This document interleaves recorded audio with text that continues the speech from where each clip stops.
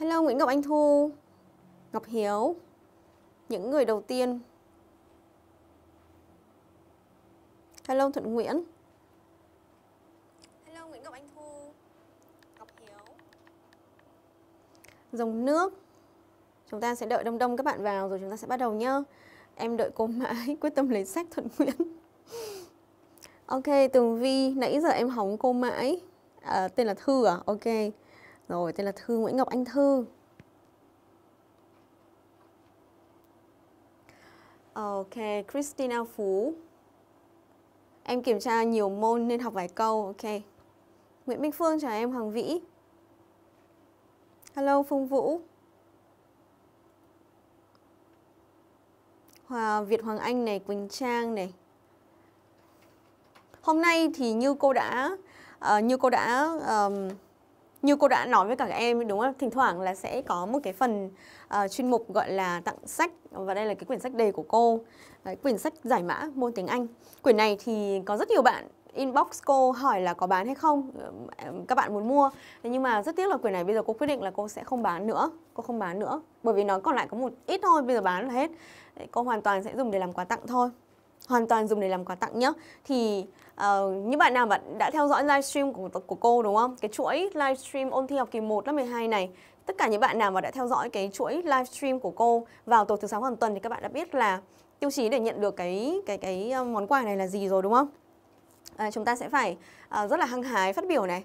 Đấy chúng ta hăng hái phát biểu nhé Uh, và nhớ là phải like ít nhất phải like đúng không? Thả tim cái livestream này share về tường đấy các bạn nhớ này thứ nhất là chúng ta hãy like nhá nhấn vào nút like.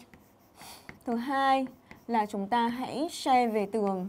Và thứ ba là chúng ta nhớ tag ít nhất là một người bạn của mình vào để học cùng nhớ chưa? Tag ít nhất là một người bạn. Đấy, ba người bạn thì ờ, có thể sẽ khó nhưng mà ít nhất là một người bạn vào để học cùng cái này. Bởi vì hôm nay những cái kiến thức mà cô dạy ngày hôm nay thì nó rất là căn bản. Đấy ôn thi học kỳ 1 và hôm nay chúng ta sẽ tập lại tập trung vào phần ngữ pháp từ unit 1 đến unit 8 tức là sẽ có những cái chủ điểm liên quan đến unit 1 đến unit 8 tất cả đều là những cái kiến thức rất là cơ bản thôi. Đấy, nhưng mà bạn nào mà học không chắc thì vẫn sẽ là khó đúng không? Rồi và các bạn nhớ là tiêu chí để nhận được phần thưởng là chúng ta phải nhớ chúng ta phải hăng hái nhớ chưa? Đấy. Một cái yếu tố nữa là chúng ta sẽ phải hăng hái phát biểu. Hăng hái ở đây là phát biểu có nghĩa là chúng ta phải chịu khó comment đó đúng hay sai không quan trọng quan trọng là chúng ta chịu khó comment nhé ok rồi hello triệu thanh lịch rồi cô lại nhớ triệu thanh lịch rồi lịch trình uh, Christina Phú liệu em có được nhận không? Christina Phú vừa vừa nãy kêu là chỉ vào đây xem có một vài câu thôi mà đúng không? Em tưởng cô hư live như lần trước ạ. À.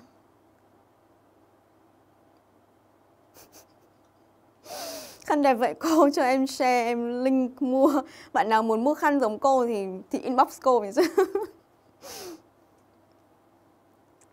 Đinh Ngọc và Hân chào em. An Lê này. Các bạn nhớ share về tường và nhớ tag ít nhất một người bạn của mình vào nhé để học cùng. Chúng ta hãy lan tỏa những cái kiến thức ờ, hữu ích dành cho những người bạn của mình. Nhớ phải comment thật nhiều vào nhé chúng ta nhé Đỗ Ánh chào em. Uh, Minh Anh Đặng rồi Nguyễn Ngọc Linh rồi Phạm Ngọc Thúy Nhi chào em. Phạm Nhật Anh Nguyệt này. Em thấy sách chất quá em khô máu với cô tối nay à? Christina Phú.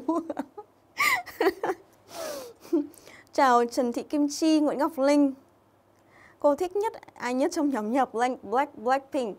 Thực ra là cô không nghe nhạc Hàn Quốc. Cô chỉ biết đây là một cái nhóm nhạc của Hàn Quốc đúng không? Có phải không? Không biết là có bị uh, nhầm lẫn gì không? Cô không nghe nhạc Hàn Quốc mấy cho nên là cô không để ý lắm.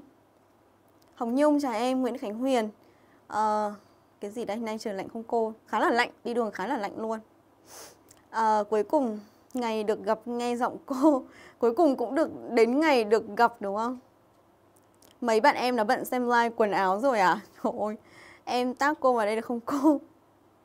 Hello Kinh Nguyễn Ok, rồi nhá Bây giờ chúng ta sẽ bắt đầu luôn thôi Cô nhớ em tên rồi, Nguyễn Ngọc Anh Thư Đúng không? Không phải là Thu mà là Anh Thư Đấy, và các bạn nhớ này, bạn nào mà đang xem ở YouTube ở của tuyển sinh 47 hoặc là bạn nào mà đang xem ở trên fanpage của chính cô ấy ờ, các bạn nhớ là cô có một cái fanpage là học tiếng Anh với cô Hoàng Xuân thì bạn nào muốn nhận được thêm à, tức là ở trên cái fanpage của cô thì có chia sẻ rất là nhiều những cái những cái tài liệu học nữa. Đấy cô post những cái nội dung mà chúng ta uh, cần thiết cho cái việc ôn thi của chúng ta. Thì bạn nào mà muốn có được thêm tức là ngoài cái phần live này ra đúng không? Thì chúng ta muốn có được thêm những cái tài liệu cũng như là có học được thêm các kiến thức liên quan đến môn tiếng Anh thì chúng ta hãy nhớ follow fanpage của cô nhé. Đó là học tiếng Anh với cô Hoàng Xuân. Thế còn bạn nào mà đang xem ở trên kênh YouTube của tuyển sinh hoặc là đang xem ở trên fanpage của cô thì các bạn nhớ là cô chỉ có thể vào được một livestream thôi. Cô chỉ vào được một thôi Chính là cô đang xem, cô đang đọc cái comment của chúng ta ở trên fanpage của tuyển sinh 247 nhá. Cô chỉ có thể đọc được ở một một một một uh, một fanpage thôi không đọc được ở nhiều nơi.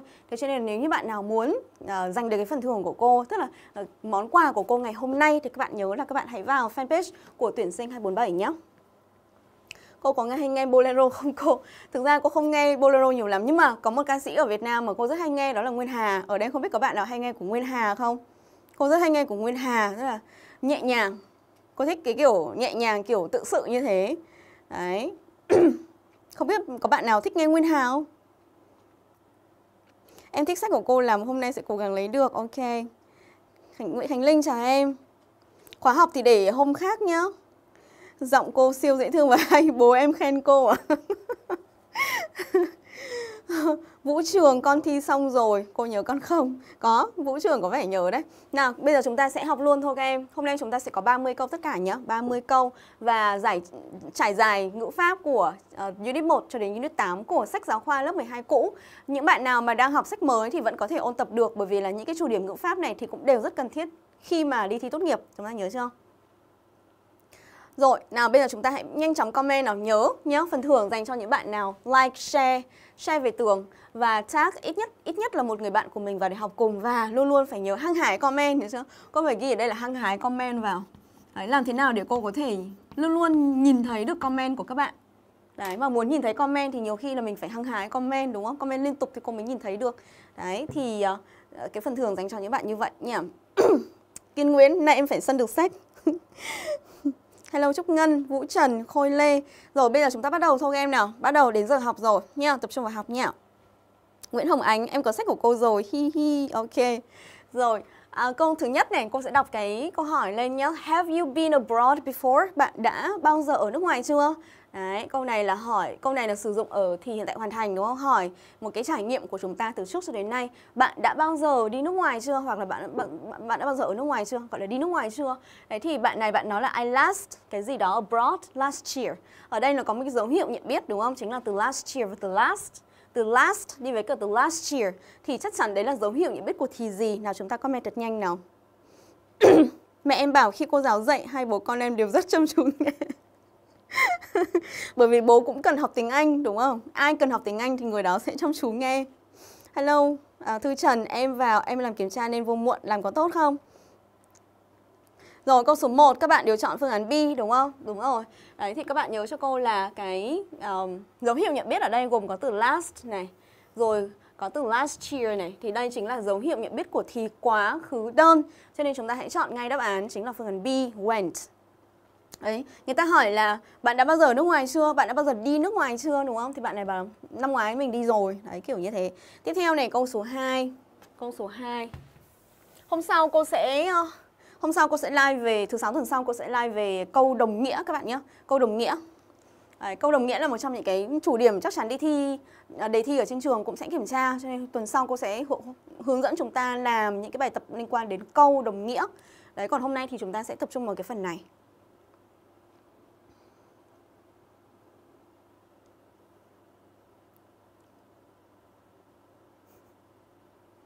Ok rồi, mặc dù em học chương trình cũ nhưng em chọn B ạ. À? Vũ Trường, nay em đi vệ sinh rồi à? Vũ Trường cô nhớ rồi, cô ấn tượng rồi. Không lần trước bạn ý bạn ấy um, buồn vệ sinh quá mà bạn ấy không dám đi vệ sinh. Hôm nay phải rút kinh nghiệm đi vệ sinh trước khi xem cô live đúng không? Nào. Câu thứ hai, why are your hands so dirty? Vì sao tay của bạn lại bẩn thế? Đấy, bạn ấy trả lời là because I chấm chấm chấm on my motorbike. Đấy, câu này là ý nói là mình mình bạn này trả lời ấy, work on motorbike ở đây ý nói là sửa xe bởi vì bạn ấy đã sửa cái xe máy của bạn ý. Thế thì câu này chúng ta chọn phương án gì? Nào, phương án A là have been working là thì hiện tại hoàn thành tiếp diễn. Phương án B had been working là thì quá khứ hoàn thành tiếp diễn. Phương án C had worked là thì quá khứ hoàn thành và phương án D will work là thì tương lai đơn. Câu này chúng ta sẽ chọn cái gì nào? bố em không biết tiếng Anh đâu, bố em bảo thích nghe giọng cô. Thật à, bạn fan bất động sản. chắc không phải là học sinh rồi. Bạn ý comment thì chắc không phải học sinh rồi. Khôi Lê, A này, Triệu Mùi Khe, A này. À, Nguyễn Ngọc Anh Thư 2A, Dùng Nước 2A, Vũ Trần. Các bạn đều chọn là 2A, đúng rồi. Ở đây các bạn giỏi quá nhở. Đấy, câu này A là đúng rồi, chúng ta dùng thì hiện tại hoàn thành tiếp diễn, đúng không? Cái thì hiện tại hoàn thành tiếp diễn thì nó diễn tả cái gì? Nó diễn tả một cái hành động đã xảy ra từ một thời điểm quá khứ này. Nó đã xảy ra bắt đầu từ một thời điểm quá khứ kéo dài đến tận thời điểm hiện tại, đúng không? Kéo dài đến tận thời điểm hiện tại.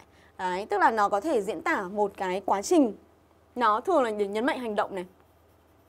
Nó thường nhấn mạnh cái hành động nhá. Nhấn mạnh hành động này. Đấy và thường nhấn mạnh quá trình quá trình diễn ra cái hành động đó. Đấy.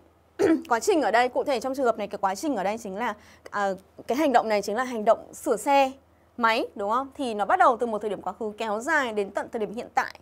Và có thể vẫn còn đang sửa nhớ có thể vẫn còn đang sửa chứ là chưa chưa xong. Đấy đây là cái ý nghĩa của thì hiện tại hoàn thành tiếp diễn là như vậy. Cái câu này chúng ta chia hiện tại hoàn thành tiếp diễn là rất chuẩn đấy, bởi vì là cái cái việc là gì đây? Chúng ta có một cái dữ liệu nữa là tay của bạn rất bẩn đúng không? Ở đây người ta sử dụng hiện tại đơn đấy và có một cái dữ liệu nữa là dirty bẩn. Cái cái cái việc tay bẩn là nó vẫn ở thời điểm hiện tại. Tức là cái hành động sửa xe máy này nó vẫn còn để lại kết quả ở hiện tại đúng không? Đấy thì uh, một cái sự việc mà xảy ra bắt bắt đầu từ một thời điểm trong quá khứ kéo dài đến tận thời điểm hiện tại và để lại kết quả ở hiện tại nữa để lại kết quả ở hiện tại thì chắc chắn đấy là thì hiện tại hoàn thành hoặc là thì hiện tại hoàn thành tiếp diễn đúng không đấy, trong trường hợp này thì chúng ta sẽ sửa chúng ta sẽ nó chỉ có thì hiện tại hoàn thành tiếp diễn thôi cho nên chúng ta sẽ chọn hiện tại hoàn thành tiếp diễn các bạn nhé. Đấy đấy là cách sử dụng. Tiếp theo câu số 3 nào. After he chấm chấm chấm his English course, he went to England to continue his study. Sau khi mà sau khi mà anh ấy uh, học xong cái khóa học tiếng Anh thì anh ấy đã đi Anh để tiếp tục cái việc học của mình. Câu này chúng ta chọn thì gì đây? Ở đây cô uh, có một số những cái dữ liệu. Thứ nhất là có từ after này, thứ hai là có từ went này, vế đằng sau là when, tức là người ta dùng ở quá khứ đơn. Bây giờ câu này chúng ta chọn cái gì nào? Nếu có thì quá khứ hoàn thành thì có thể chọn quá khứ hoàn thành. Cái này không thể chọn quá khứ hoàn thành được bởi vì nó vẫn còn liên quan đến hiện tại chúng ta nhớ rằng nó vẫn còn liên quan đến hiện tại thì chúng ta chỉ có thể chọn hiện tại hoàn thành hoặc hiện tại hoàn thành tiếp diễn mà thôi. Không thể chọn quá khứ hoàn thành được bởi quá khứ hoàn thành là là diễn tả một hành động xảy ra trước một hành động trong quá khứ. Tức là tóm lại nó đều phải kết thúc rồi, nó không liên quan gì đến hiện tại nữa. Chúng ta nhớ chưa? Quá khứ hay là quá khứ hoàn thành, hành động đã xảy ra đã kết thúc, không còn liên quan đến hiện tại nữa. Đấy, thế còn cái này là vẫn còn liên quan đến hiện tại, đúng không? Tay vẫn còn đang bẩn ở hiện tại là ta vẫn còn đang bẩn đấy là vẫn còn liên quan đến hiện tại hay là để lại kết quả ở hiện tại thì đó chính là cách sử dụng của thì hiện tại hoàn thành hoặc hiện tại hoàn thành tiếp diễn các bạn nhé rồi bây giờ câu này chúng ta có phương án A has finished là thì hiện tại hoàn thành, phương án B had finished quá khứ hoàn thành, phương án C was finished quá khứ đơn và đây là câu bị động. Tiếp đến chúng ta có would finish. Câu này chúng ta sẽ chọn gì đây? Nào, câu câu này thì uh, Cô gọi tên em trong đêm đi cô ý như Moon nhớ rồi nhá Nguyễn Hồng Đăng, Triệu Mùi Khe Triệu Mùi Khe là tên của em, là tên thật của em đấy hả? Em test nhân phẩm thử ạ à. Cho em xin tên cái phông chữ ở phần khung đỏ Cô chả nhớ là cái gì đâu, Nhưng mà cô đang dùng máy chiếu cho nên là không không tiện ờ, xem xem cái phông chữ Khi nào mà inbox cô, nếu mà nếu mà muốn biết nha. Ok nào, câu này Nguyễn Xuân Hiếu B, Diệu Linh B này, Thanh Trúc này, quá khứ hoàn thành đúng rồi. Câu này các bạn chọn quá khứ hoàn thành là rất đúng, đúng không? Ở đây chúng ta có hai cái hành động, thứ nhất là hành động hoàn thành xong khóa học tiếng Anh. Ở đây cô sẽ vẽ ra đây, có hai hành động, hành động thứ nhất là hoàn thành khóa học tiếng Anh, thứ hai là hành động đi đến nước Anh, đúng không? Thì hành động nào xảy ra trước? Chính là phải học xong đã, đúng không? Phải học xong đã. Thì hành động nào xảy ra trước thì chúng ta sẽ chia ở quá khứ hoàn thành. Được chưa?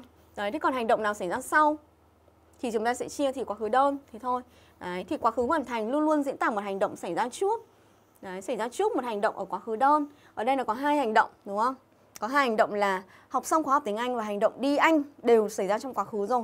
Cả hai hành động này đều xảy ra trong quá khứ rồi. Thì hành động nào xảy ra trước, hoàn thành trước thì chúng ta dùng quá khứ hoàn thành.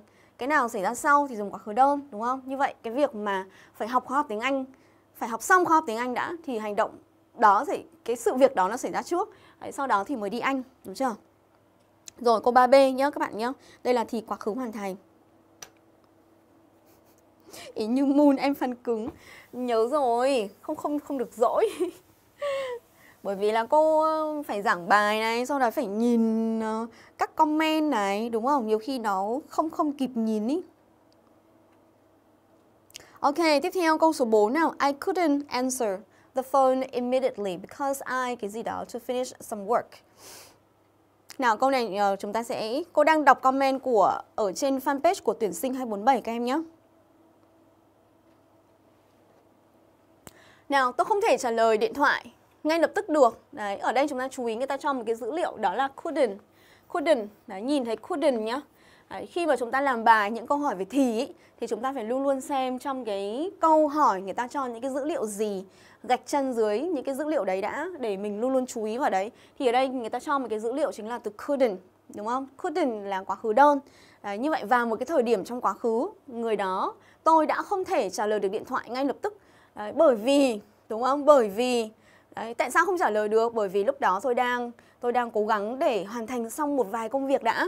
Thế thì câu này đáp án của chúng ta sẽ là gì nào? Phương án A là I'm trying, phương án B là try, tức là hiện tại tiếp diễn này, cái này là try là hiện tại đơn này, cái này was trying là quá khứ tiếp diễn này, thế còn cái này were trying cũng là quá khứ tiếp diễn nhưng mà uh, cái động từ của nó khác nhau đúng không? Số ít số nhiều.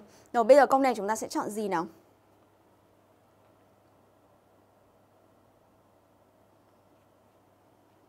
Ok, Phương Vũ 4A.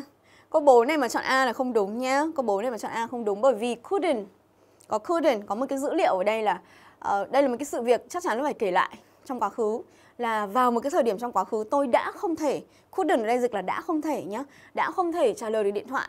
Thế tại sao không trả lời điện thoại? Bởi vì vào vào chính cái thời điểm đấy vào cái thời điểm mà cái điện thoại nó kêu ấy đúng không? Cái, vào cái thời điểm ai đó gọi điện và cái điện thoại nó kêu ấy thì vào chính cái thời điểm đấy thì tôi phải đang bận một cái gì đấy đúng không? Đây chúng ta hình dung cái dòng thời gian của chúng ta nhá.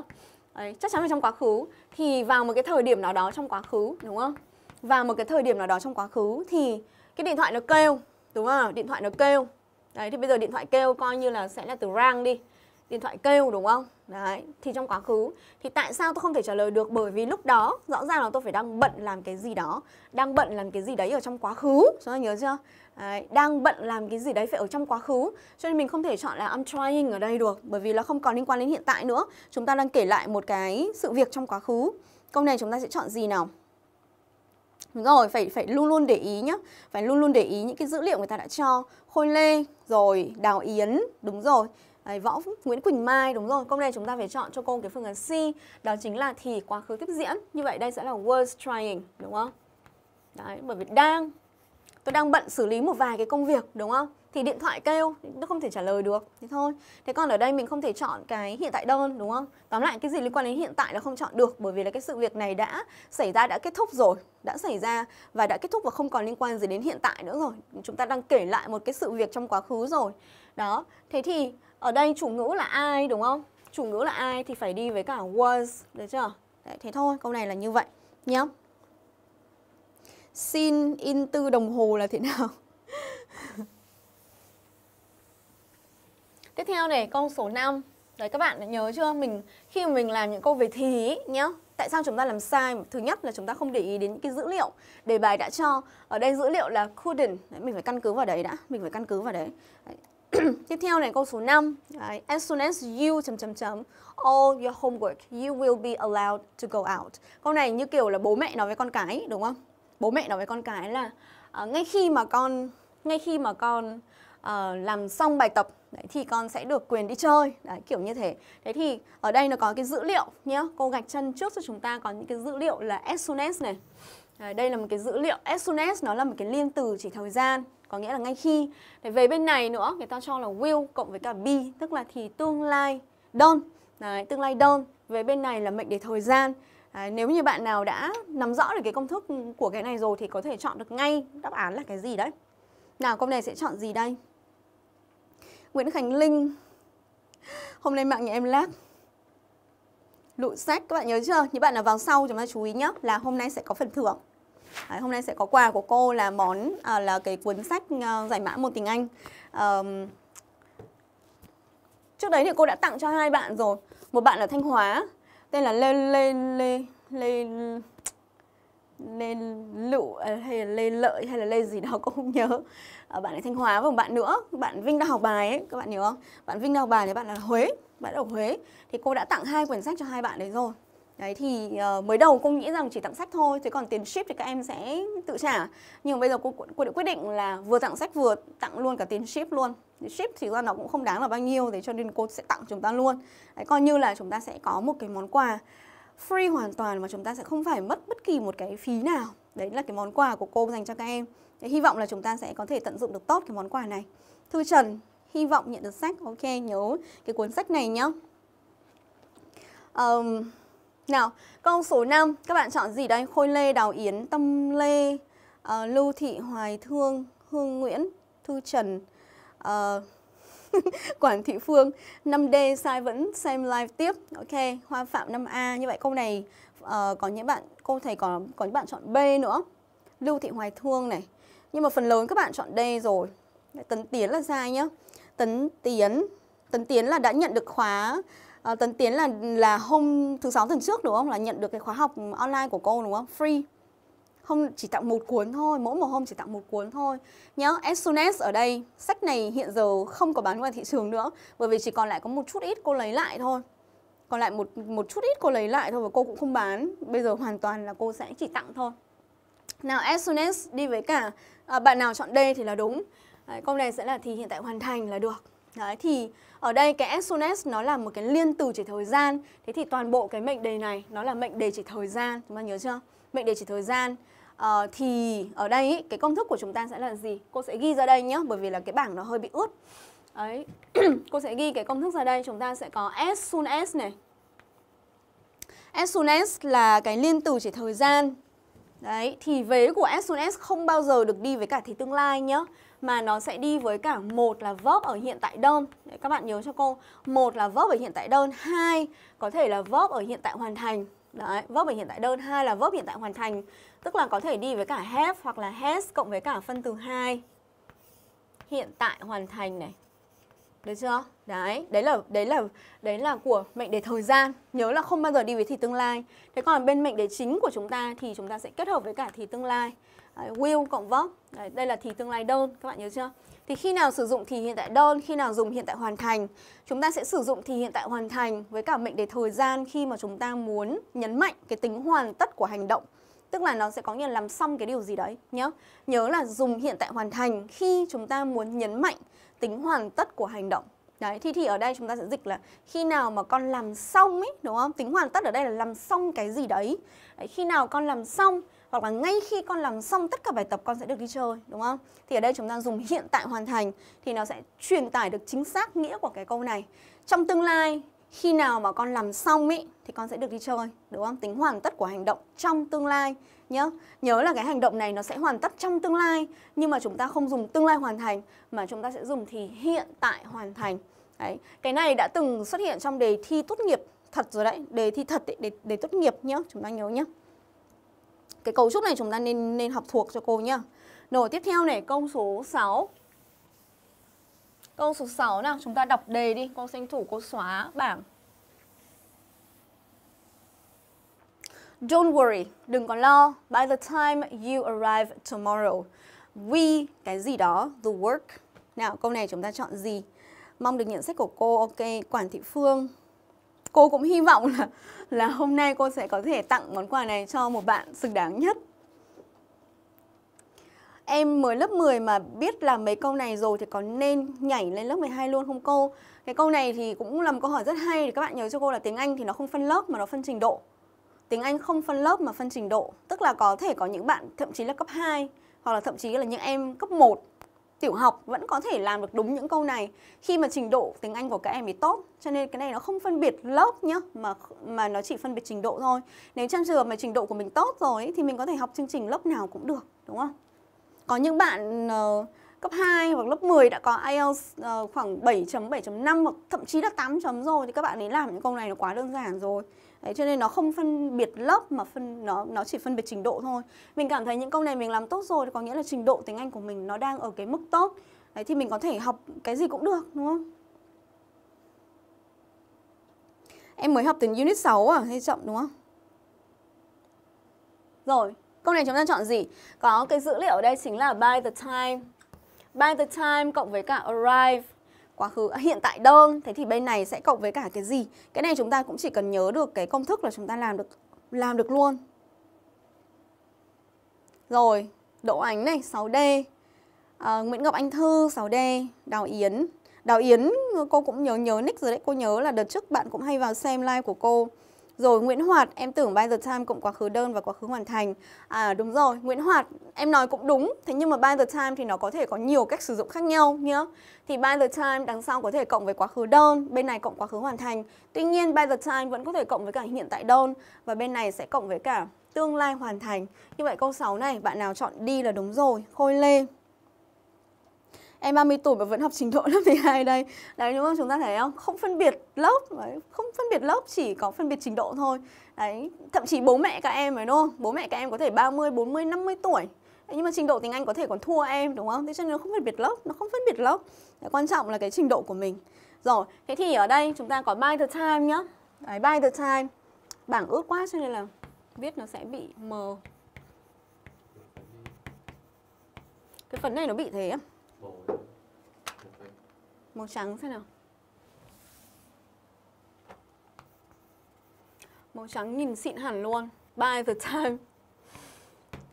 Cộng chủ ngữ, cộng vóc. Đấy thì bây giờ cô sẽ viết hai cái công thức ra để cho chúng ta có thể ôn tập luôn nhé Nếu như vế của by the time Động từ ở hiện tại đơn. Đấy Hiện tại đơn giống như trong trường hợp này. Arrive, đúng không? Hiện tại đơn. Thế thì cái mệnh đề chính nó sẽ ở thì tương lai hoàn thành. Nó sẽ là will have cộng với cả phân từ 2 chúng ta nhớ chưa? Đây là thì tương lai hoàn thành. Thế còn nếu như by the time cộng với cả vẫn là by the time. Vẫn là by the time.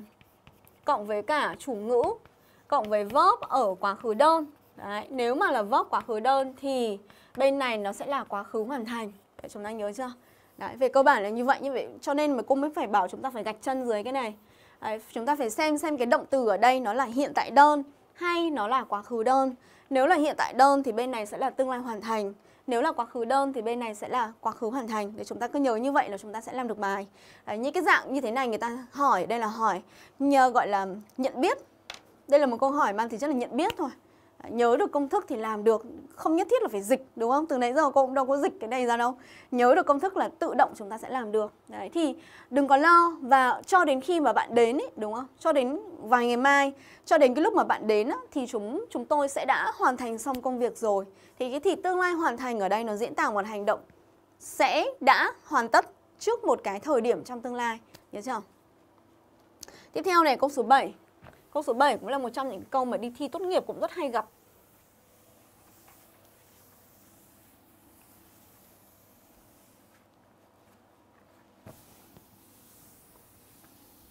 Nào bây giờ phải đọc comment một tí không các bạn lại dỗi nữa.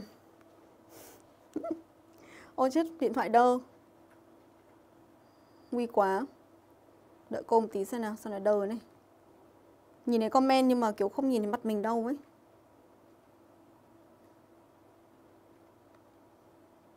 Đợi cô một tí con phải khởi động lại cái điện thoại này Hay là hôm nay các bạn comment nhiều quá nó bị đâu Đây đã nhìn thấy rồi Ok, câu thứ 7 nào Câu thứ 7 Chúng ta có dữ liệu while Đấy, cái dữ liệu này cần phải chú ý While I, cái gì đó along the road Phẩy, I saw Đấy, câu này quá là kinh điển rồi đúng không? Đề thi rất hay vào nhá các bạn nhé. Đề thi tốt nghiệp rất hay vào và cô nghĩ rằng là đề thi học kỳ của chúng ta cũng rất là dễ vào cái cái loại như thế này. Đấy, cô có một cái dự định rất là à, có một cái linh cảm rất là cao là đề thi rất rất dễ vào cái này. Nào, câu này bây giờ cô sẽ dành một chút ít thời gian để cô đọc cái phần comment của các bạn nhé. Đinh Ngọc Bảo Hân chào em. Đinh Ngọc Bảo Hân là một trong những top fan của cô đấy. Su Xanh mới á, Su Xanh là bạn mới. Hoàng Thị Thúy Trâm này, Trần Thị Thùy Dương, Hương Nguyễn, Dòng Nước, Triệu Hoa, Thùy Đỗ. Các bạn đều chọn phương án là phương án đi Nguyễn Quỳnh Như. Từ Cần Điền là quá khứ. Tiếp diễn, đúng rồi. Em xung phong ạ. While cộng quá khứ tiếp diễn cộng với cả quá khứ đơn, đúng rồi. Uh, Christina Phú, uh, Christina Phú hôm nay quyết định là dành sách à em? Mới đầu vào là bảo em em chỉ vào xem mấy câu thôi nhưng bây giờ đã kiểu định xem hết cả buổi hay sao ấy. Đúng rồi. Các bạn nhớ là while là trong khi thì thường nó hay kết hợp với cả thì quá khứ tiếp diễn các bạn nhớ. While này cộng chủ ngữ này cộng với cả was hoặc là were cộng với cả verb in, được chưa? Đấy, đây sẽ là thì quá khứ tiếp diễn này. Đấy, cái này là quá khứ tiếp diễn. Thế còn về bên kia, mệnh đề chính thì uh, chủ ngữ cộng verb sẽ chia ở quá khứ đơn. Đấy, các bạn nhớ như vậy nhé. Ở đây nó thể hiện là gì? Nó cách sử dụng của nó là diễn tả một hành động gì? Đang diễn ra, đúng không? Thì một hành động cắt ngang. Cụ thể hành động đang diễn ra ở đây là đang đi xe đạp. Đấy, đang đi xe đạp ngoài đường thì nhìn thấy, đấy, bỗng nhiên nhìn thấy ai đó thì hành động nhìn thấy là cắt ngang cái hành động đi xe đạp gần như kiểu kiểu như vậy, kiểu như thế. Đấy, thì cái hành động đang đi xe đạp đang diễn ra thì chúng ta chia thì quá khứ tiếp diễn. Đấy, hành động cắt ngang, xen ngang chúng ta chia quá khứ đơn, được chưa? Đấy, câu này nói chung là cũng là một cái dạng cấu trúc rất là quen thuộc đúng không? Tiếp theo câu số 8 đi.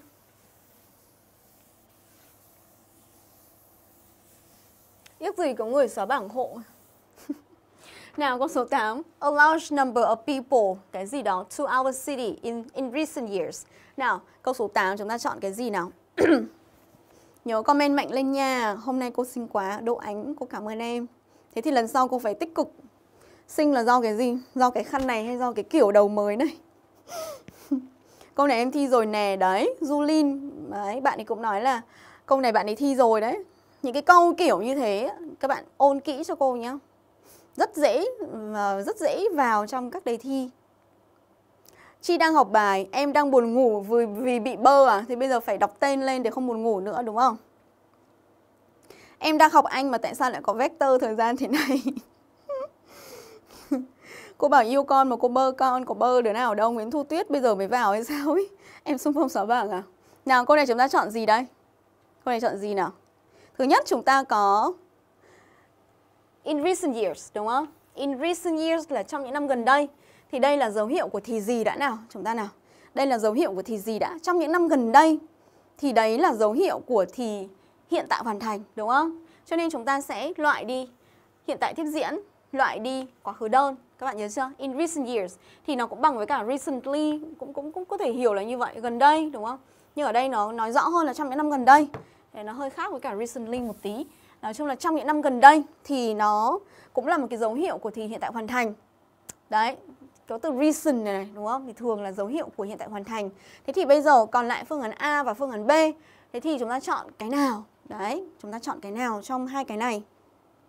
Vũ Trường em cũng bị bơ có bị bơ đâu chắc không nhìn thấy thôi tấn tiến nào tấn tiến là bạn mà hôm uh, tuần trước đã vừa được uh, vừa vừa được vừa được quà đấy nào đúng rồi câu này là phương thảo hiện tại hoàn thành nhưng chúng ta chọn cái phương án a hay là phương án b has hay là have rồi, câu này là a large number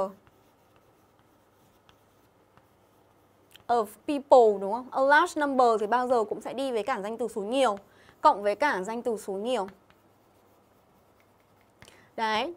Chủ ngữ là a large number thì động từ sẽ là động từ số ít hay số nhiều. Ở đây cô thấy chúng ta đều chọn, gần như là các bạn đều chọn đúng rồi. Verb ở đây sẽ chia là verb số nhiều, các bạn nhé. Verb ở đây sẽ là verb số nhiều. Bởi vì a large number ở đây mình có thể dịch là nhiều, nhiều người.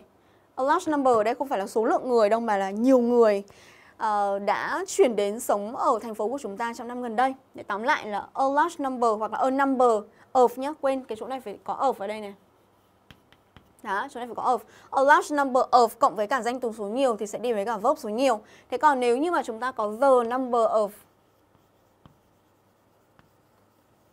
Nếu mà là the number of ý, đằng sau cũng cộng với cả danh từ số nhiều nhưng verb của nó sẽ là verb số ít. Các bạn nhớ chưa? Đấy, verb sẽ là verb số ít. Tức là cái verb nó sẽ chia theo cái chủ ngữ là the number này, số lượng. Số lượng thì không thể đếm được cho nên là là cái động từ sẽ là động từ số ít, nhớ chưa? Thế còn a large number of có thể dịch là nhiều người, rất nhiều người. Đấy thì nó đương nhiên nó là nó là số nhiều, đúng không? Rất nhiều người mà, chủ ngữ số nhiều. Đấy cho nên là uh, động từ ở đây sẽ là số nhiều. Được chưa? Chúng ta nhớ cái này chưa?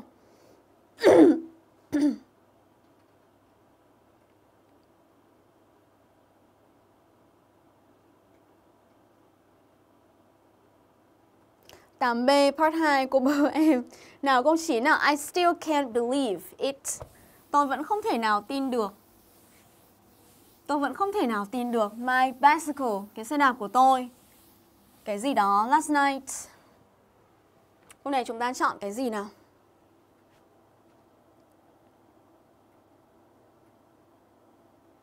Các bạn vào ờ, các bạn vào cô nhờ các bạn vào Facebook của bạn Phạm Văn Cường này report bạn ấy cho cô nhé. Bạn ấy đang nói những câu rất là linh tinh ra. Vào Facebook của bạn ấy report cho cô. Ok, nào, tôi vẫn không thể tin được cái xe đạp của tôi. Đấy, sang cái phần số 9 này, câu số 9 này là bắt đầu sang câu uh, bị động chủ động rồi. Đấy, cô cô cô kiểu uh, match cho chúng ta. Câu chủ động bị động.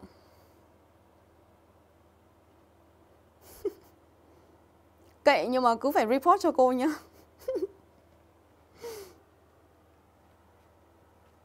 nào, câu này chúng ta chọn gì? Thủy Đỗ nào. 9A, Nguyễn Ngọc Anh Thư, Nguyễn Diệu Linh A. À, các bạn đều chọn là word stolen là đúng rồi. Câu này dễ thì cô sẽ chữa nhanh nhé. Word stolen. Chúng ta sẽ dùng câu uh, bị động đúng không? Của thì quá khứ đơn. Câu bị động của thì quá khứ đơn chính là was stolen. Đấy, thì đây tại sao đây là câu bị động các bạn nhé? Um, cái này thì uh, thứ nhất là chúng ta phải nhớ được cái cái cái cái cái cái cấu trúc của câu bị động là luôn luôn sẽ bắt đầu bằng động từ to be cộng với cả phân từ hai nhớ chưa? Thì cái động từ to be ở quá khứ đơn mình sẽ chia thành was hoặc là were cộng phân từ hai. Đấy, was hoặc là were cộng phân từ hai. Thì thứ nhất mình phải nhìn mình biết đây là cái dạng quá khứ à, dạng gì nhỉ? Bị động của thì quá khứ đơn đã, đúng không? Mình học thì ít nhất mình phải biết cái dạng thức của nó đã. Đấy. Thế thì ở đây cô sẽ giúp chúng ta cái cách phân biệt câu chủ động và câu bị động trong trường hợp trong trường hợp mà chúng ta không dịch được nghĩa. Các bạn nhớ chưa? cô sẽ giúp cho chúng ta phân biệt được câu chủ động và bị động trong trường hợp chúng ta không dịch được nghĩa. Tức là đôi khi có những cái câu ấy mà nó sử dụng cũng là câu chủ động bị động nhưng nó sử dụng những cái uh, nó sử dụng những cái uh, từ vựng khó chẳng hạn thì nhiều khi rất là khó dịch. Đó, nhiều khi rất là khó dịch thì nhiều khi là không dịch được thì rất là khó để có thể chọn được câu chủ động hay bị động đúng không? Thế thì cô sẽ hướng dẫn cho chúng ta một cái mẹo một cái mẹo để chúng ta có thể làm. Cái mẹo này thì không đúng 100% nhưng chúng ta vẫn có thể áp dụng được trong trường hợp mà chúng ta không dịch được câu. Đấy nhá, thì các bạn nhớ cho câu này câu chủ động ấy. Câu chủ động ấy thì cấu trúc của nó là gì? Nó phải có chủ ngữ đúng không? Cộng với verb cộng với cả tân ngữ. Đúng không nào? Đấy là câu chủ động. Có nghĩa là gì? Có nghĩa là chúng ta nhìn này, với câu chủ động ấy với câu chủ động thì đằng sau cái động từ luôn luôn có tân ngữ. Tân ngữ ở đây có thể là một danh từ, đúng không? Có thể là một danh từ hoặc có thể là một đại từ. Danh từ hoặc là đại từ. Đấy, thường là danh từ hoặc là đại từ, đúng không? Đấy. Thế còn với câu bị động thì sao? Cái này là mẹo nhá. Với câu bị động á thì cái tân ngữ này, đúng không? Cái danh từ đại từ này thường được đảo lên đầu, đúng không? Đảo lên đầu. Đấy sau đó thì cái động từ ở đây mình sẽ chia thành be, cái dạng be cộng phân từ hai. Sau đó, quan trọng nhất là cái sau đó này này. Sau đó thì nó không còn một danh từ ở đây nữa Nó khuyết cái thành phần danh từ ở đây Bởi vì cái danh từ hay là cái tân ngữ này đã được đảo lên đây rồi Đúng không? Chúng ta nhớ không? Cái tân ngữ được đảo lên đây rồi hay là cái danh từ hay là đại từ đúng không? Nó được đảo lên đầu rồi Thì có nghĩa là ở đây nó không còn danh từ nữa Nó không còn danh từ nữa Đấy, đằng sau đó có thể là by cộng với cả chủ ngữ Đấy nhớ nó không còn danh từ nữa Các bạn nhớ chưa? Sau đó có thể là by cộng chủ ngữ Thì ở đây chúng ta nhìn đây này Câu này chúng ta nhìn câu này by, my, my bicycle Cái xe đạp của tôi đúng không? Danh từ được đảo lên đầu câu rồi. Sau đó chỗ trống, sau đó đằng sau đấy có từ last night. Last night ở đây không thể là một không thể là một uh, một tân ngữ được, đúng không? Tức là nó tân ngữ ở đây là tân ngữ của động từ ấy. Đấy, nó không thể là một tân ngữ được bởi vì nó là một cái từ chỉ thời gian. Thì suy ra chúng ta thấy là đằng sau chỗ trống nó không hề có một danh từ gì nữa, không hề có tân ngữ nữa, đúng không? Không có danh từ có nghĩa là không có tân ngữ nữa. Thì suy ra câu này là câu bị động. Được chưa? Đấy. Cho nên là chốt lại là gì? Nếu như đằng sau chỗ trống không có danh từ không có tân ngữ nữa thì đây là câu bị động. Đấy nhá, đây là cái mẹo để chúng ta có thể làm Trong trường hợp mà chúng ta bí quá, chúng ta không dịch được câu đúng không? Thì chúng ta hãy căn cứ vào một số mẹo để chúng ta làm Để cô bày cho chúng ta cái cách như thế nhá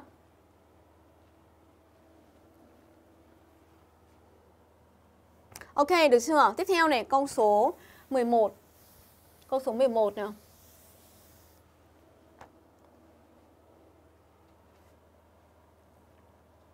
Nhật Thích Minh à? Có lẽ em nên nhường sách cho các bạn chứ em xem like đến cuối sợ các bạn không có hy vọng nhận sách. Christina Phú. Nào, câu số 11 nào. Theo các em thì um, thì thì nó là câu chủ động hay bị động nào. Today, many serious childhood diseases. Cái gì đó by only immunization. Immunization có nghĩa là cái tiêm chủng phòng ngừa sớm ấy. Đấy, thì cái việc tiêm chủng phòng ngừa sớm Đấy, by là bởi hoặc là bằng cái gì đó thì chúng ta thường là nhìn thấy by đúng không? Thường là nhìn thấy by thì đấy cũng là một cái dấu hiệu nhận biết của câu bị động. Đấy cho nên chúng ta hãy chọn thật nhanh cái câu này xem nào. Ngày nay có rất nhiều những cái bệnh mà uh, ở của trẻ em ấy mà nguy hiểm đúng không? Thì có thể được ngăn ngừa đấy bởi cái việc là tiêm chủng sớm. Câu này cũng khá là dễ đây. Câu số 11 nào. Vẫn còn những bạn chọn là B. Trần Kim Vũ B này. Các bạn comment cho cô xem. Chúng ta đang ở câu số 11 rồi nha. Vũ Trần B. Ờ, tại sao các bạn lại chọn B nhỉ? Thứ nhất là có bài đúng không? Đấy, bài. Nhìn thấy bài thì chúng ta phải mình chúng ta phải phải phải phải nghĩ ra ngay là chúng ta phải tự đặt ra câu hỏi là liệu đây có phải là câu bị động hay không bởi bài nó thường là dấu hiệu nhận biết của câu bị động đúng không rồi câu này có Nguyễn Quỳnh Như đúng rồi Phương Thảo đúng rồi Đấy, câu này phải là D đúng không can be prevented Đấy, có thể được ngăn ngừa nhé. Ở đây chúng ta có can là một cái modal verb, động từ khuyết thiếu. Thì khi mà chúng ta chuyển sang bị động, chúng ta phải thêm be vào để nguyên be và sau đó cộng với cả phân từ hai, được chưa? Tiếp theo này, câu số 12. Nào cô sẽ đẩy nhanh tiến độ lên một chút nhỉ. 12 nào các bạn uh, comment thật nhanh nào. Um, many American automobiles. Uh, automobiles ở đây nó bằng với cả the cars là rất nhiều những cái xe hơi của Mỹ Đấy, nhớ, nhớ là bằng với các từ cars. Many American automobiles. Thì, và chúng ta có cái động từ ở đây là manufacture là sản xuất. Đấy, in Detroit, Michigan. Đấy thì câu này chúng ta để ý là đằng sau chỗ trống nó có giới từ in, tức là nó không có danh từ nữa. Nó không có danh từ, nó không có tân ngữ nữa. Đấy, đã đằng sau chỗ trống không có danh từ, không có tân ngữ mà chỉ có giới từ thôi đúng không? Giới từ cộng với các địa điểm. Đấy thì câu này chúng ta sẽ chọn cái phương án gì các bạn nhỉ? Nào, đằng sau chỗ trống không có danh từ nữa thì đây là câu chủ động hay câu bị động? Câu 10 cô chưa chữa. À câu số 10 chưa chữa đúng rồi nhầm. Câu số 10 something fun. Câu này thì cô uh, ok rồi. Câu số 10 thằng nào quốc tế các bạn comment câu số 10.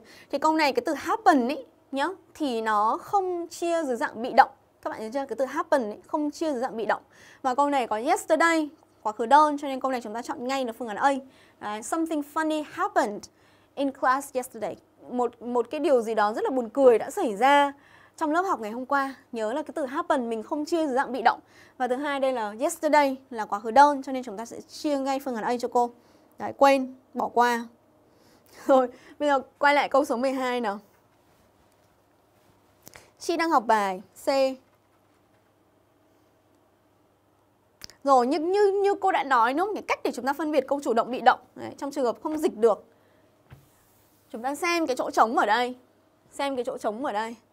Nó uh, Cái đằng sau chỗ trống Đúng không? Nó có danh từ hay không? Hay nó có đại từ hay không? Đại từ ở đây ví dụ như là Me này, her hoặc là him này Kiểu như thế. Đấy, có đại từ hay không? Thì trong trường hợp này chúng ta thấy không có danh từ không có đại từ. Nó chỉ có một cái giới từ ở đây thôi đúng không? Đấy thì rõ ràng là không có tân ngữ. Mà tân ngữ đã được đảo lên trước rồi. Đấy suy ra câu này là câu bị động đúng không? Chúng ta chọn thật nhanh câu bị động đi. Cấu trúc của câu bị động sẽ là cái gì? Câu B là sai rồi, câu này bạn nào chọn C là đúng nhá. Đào Yến đúng này, Trần Kiên đúng này. Đấy, câu này chọn C. A manufactured, tức là được sản xuất. Đấy, câu bị động ở thì hiện tại đâu Tiếp theo câu số 13. Câu số 13 ở đây chúng ta có penicillin đúng không? Khi nào penicillin được người ta phát hiện ra Đấy, và năm ở đây là năm 1928. Như vậy đây là câu hỏi. Câu hỏi chúng ta chọn cái gì nào? Đinh Ngọc Bảo Hân Ờ, lúc nãy các bạn đang xem đông đông, bây giờ các bạn đi đâu hết rồi? Kinh Nguyễn, bây giờ chúng ta hãy comment câu số 13 nhé. Câu số 13, đáp án là gì nào? Các bạn đi đâu hết rồi?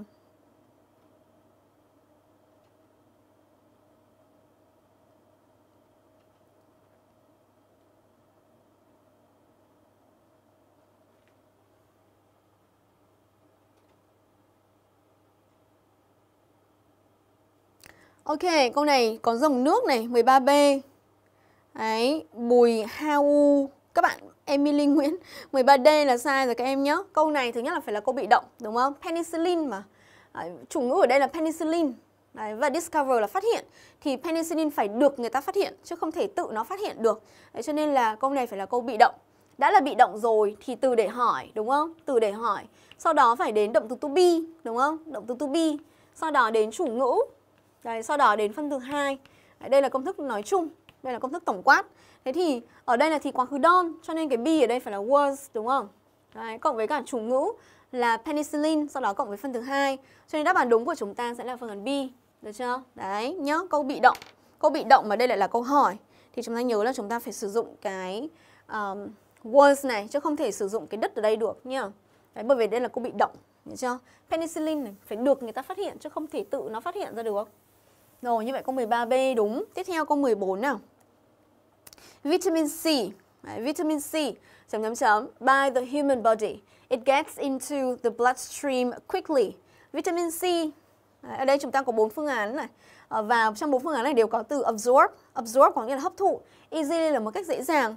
Thế thì vitamin C phải như thế nào đấy? Tức là ý nó là hấp thụ dễ dàng vào bởi cơ thể con người và nó gets into tức là thấm rất là nhanh đúng không? Nó kiểu đi vào cái cái cái um, cái cái cái, cái mạch máu của chúng ta rất là nhanh. Đấy thì ờ, thì ở đây có bai Đấy, chúng ta nhìn thấy có bai không? Thấy chưa? Bai thì bai nó là dấu hiệu nhận biết của cái gì? Đấy. Nào Nguyễn Ngọc Anh Thư em cũng nghĩ là bi ý như moon Nguyễn Diệu Linh. Đấy phải nhắc đến tên ý như moon không có nó lại dỗi này. Rồi câu này. Ok Đào Yến này Bây giờ cô cũng nhớ tên của Đào Yến rồi đấy. Hôm nay uh, hy vọng một số các ờ, fan gọi là rất là kiểu uh, rất chịu khó xem. Hy vọng là các bạn hôm nay sẽ được uh, nhận được uh, phần thưởng của cô nhé món quà của cô ngày hôm nay. Câu này các bạn chọn uh, C là đúng. Đấy, is thứ nhất này is này đúng không? Cộng với cả phân từ hai đúng không? Phải được hấp thụ. Đấy, và có ba ở đây dấu hiệu biết của uh, của câu bị động. Đấy, và cái nghĩa của nó là gì nó phải được hấp thụ Đấy, không thể tự nó hấp thụ được phải được cơ thể hấp thụ đúng không và chúng ta có easily trạng từ thì trạng từ sẽ xen vào giữa sẽ đứng ở giữa động từ to be và phân thứ hai. Đấy, như vậy câu này chúng ta chọn phương án C cho cô nhé. Được hấp thụ một cách dễ dàng bởi cơ thể con người. Được chưa? Vitamin C cũng rất là quan trọng đấy. Nga Chu, em mãi chưa được nhắc tên. Ok, nhắc rồi nhớ, chị hay học bài. Rồi. Câu 14, có bạn hỏi câu 14 là C các bạn nhé. Câu 14 là C. Đấy, nó phải là câu bị động. Tiếp theo câu 15 nào.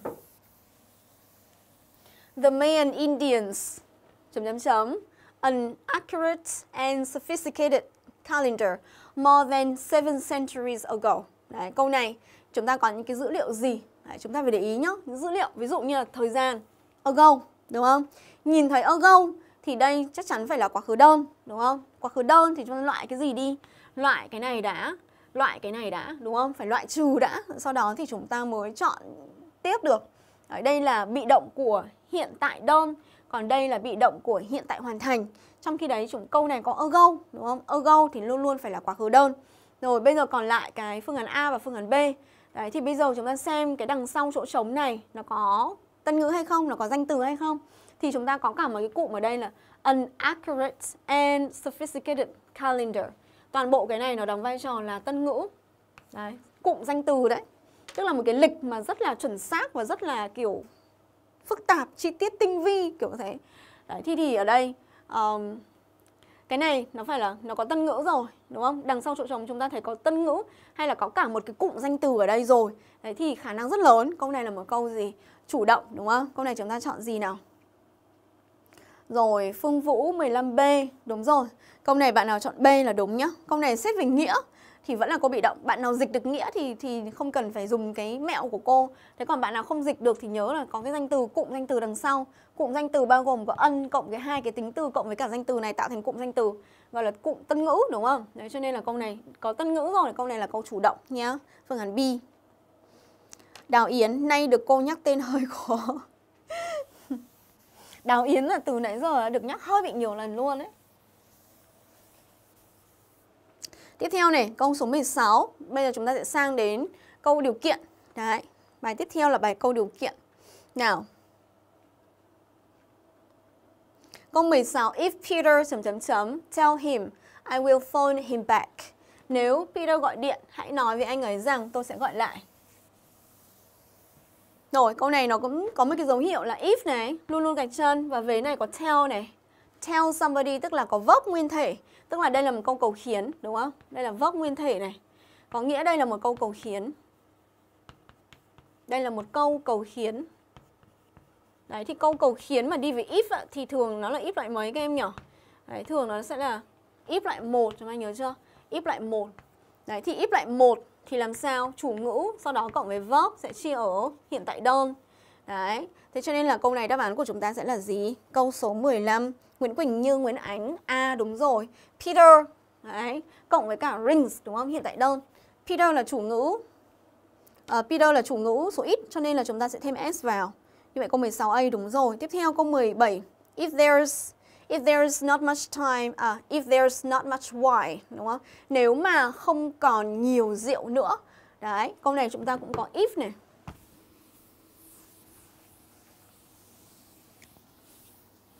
Hôm nay là đều là các kiến thức căn bản và như cô đã nói thì tuần sau nhá. Thứ sáu tuần sau cô sẽ live uh, câu đồng nghĩa. Chúng ta sẽ ôn câu đồng nghĩa. Bao gồm có uh, uh, câu tường thuật này. Câu tường thuật cũng là một trong những cái chủ điểm đi thi rất hay vào. Now, if there's not much wine, If này. Sau đó là there's này. Tức là there ở đây là viết tắt của there is. Mọi nhớ chưa? There is. Thế thì is ở đây nó lại là hiện tại đơn. Đúng không? Nó là hiện tại đơn. Suy ra đây là if lại một. Đúng không nào? If lại một. Đấy thì chủ ngữ cộng với cả verb ở hiện tại đơn.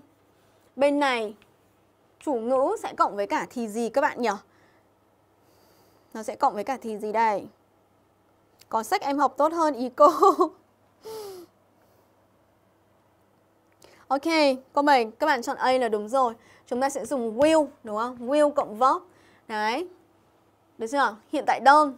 Chúng ta nhớ là câu điều kiện loại 1 hiện tại đơn đi với cả tương lai, nhớ nhá, hiện tại đơn đi với cả tương lai đơn.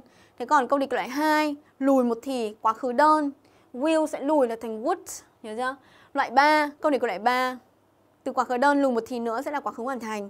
Thế còn bên này would sẽ thành là would have cộng với phần từ hai Đấy là cái nguyên tắc để nhớ, được chưa?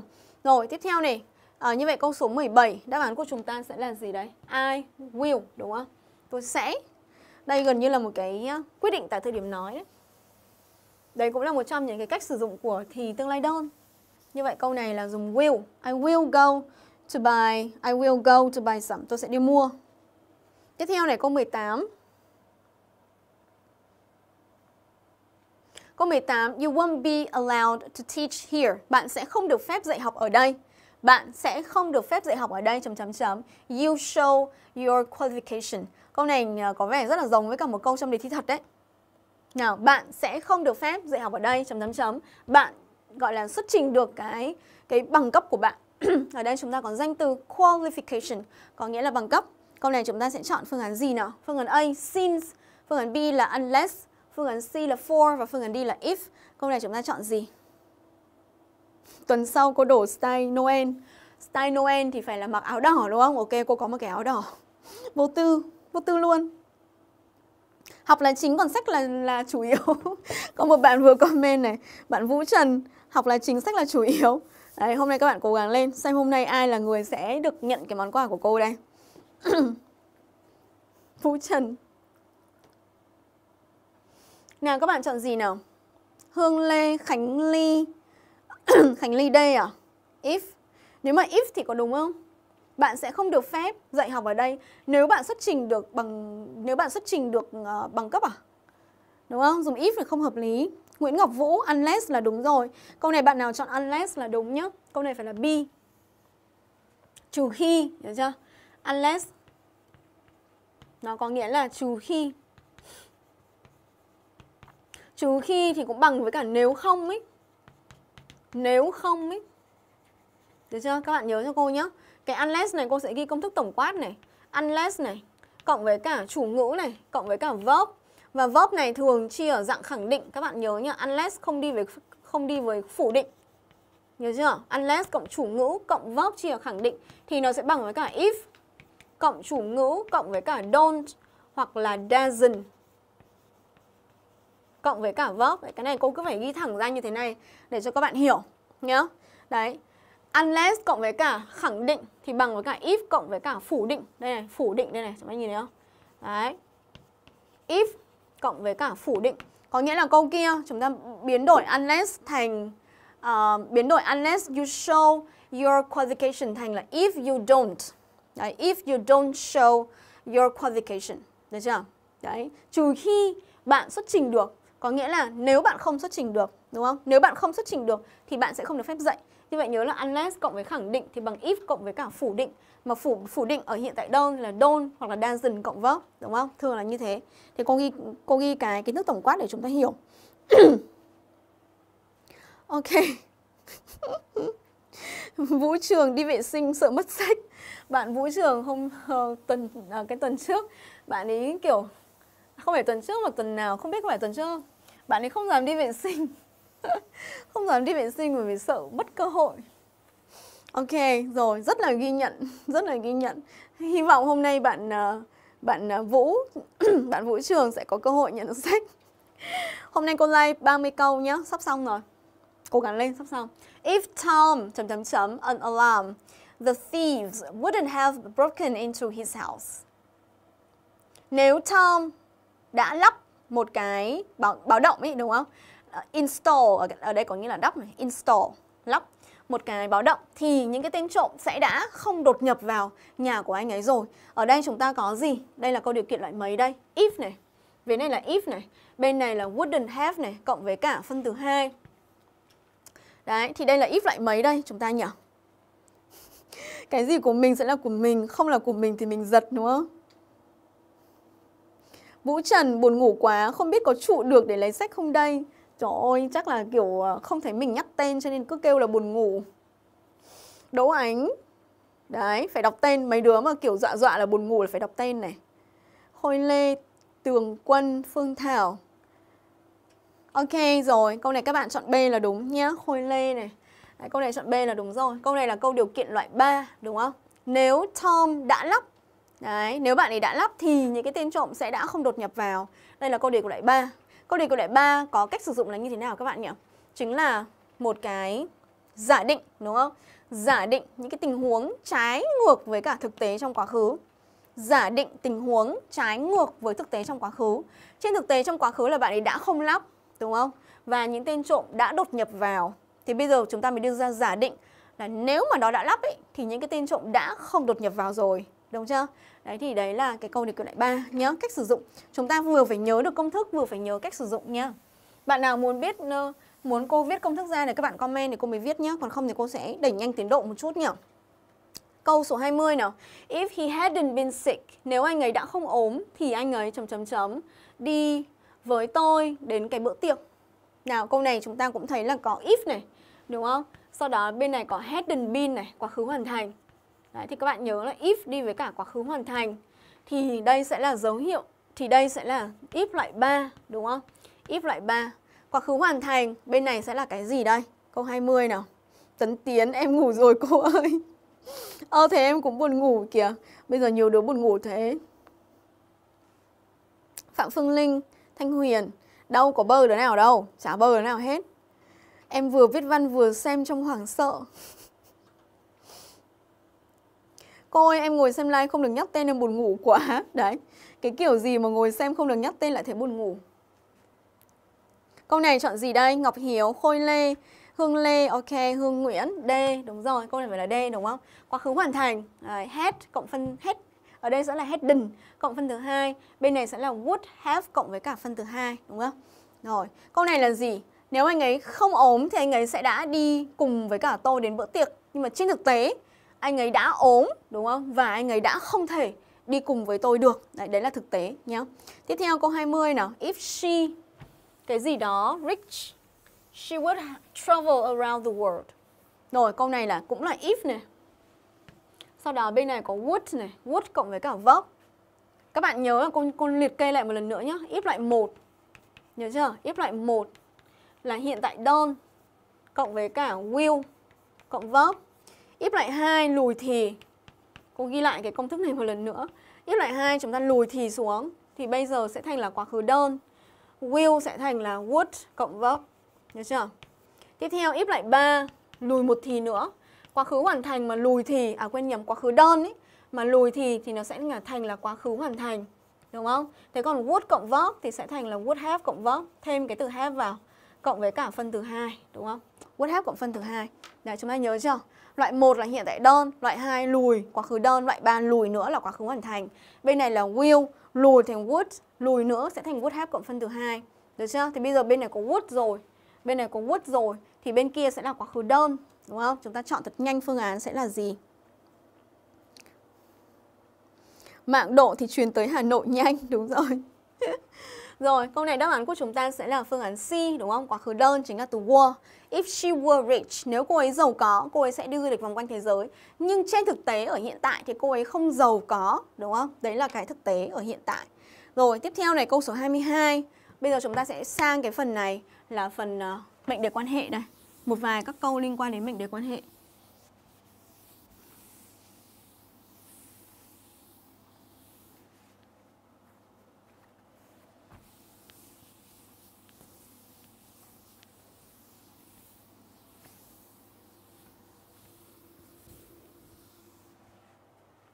Those chấm chấm chấm to join our club must fill in this form first. Những người mà muốn tham gia vào câu lạc bộ của chúng tôi thì phải điều đầu tiên là phải điền vào cái đơn này đã.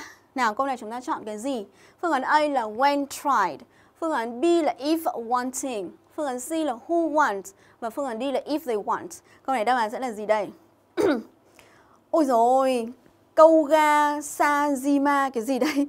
Cô ơi, em comment từ nãy chẳng thấy cô nhắc tên Cô rất ngại nhắc tên bởi vì sao? Bởi vì là cái nick nó rất là khó đọc. Nguyễn Diệu Linh Em comment từ nãy Chẳng thấy cô nhắc tên. Có nhắc đấy thôi Có nhắc Diệu Linh rồi Diệu Linh thậm chí còn kiểu uh, Cô không nhắc tên thì buồn ngủ còn gì nữa. Ok, câu 22 nào. Those sẽ đi với cả gì đây? Buồn ngủ lắm rồi mà cô chẳng gọi Kiên Nguyễn. Chết mất. Câu 22 chọn gì nào? Khôi Lê, C này, Văn Thái.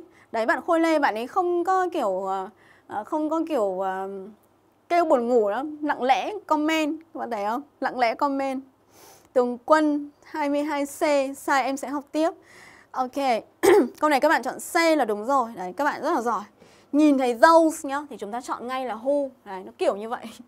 Those thì thường nó sẽ đi với cả who. Đấy, sau đó là sẽ cộng với cả động từ Thì các bạn nhớ cho cô là those thì nó sẽ bằng với cả the people Đấy, Chúng ta dịch là những người mà, đúng không?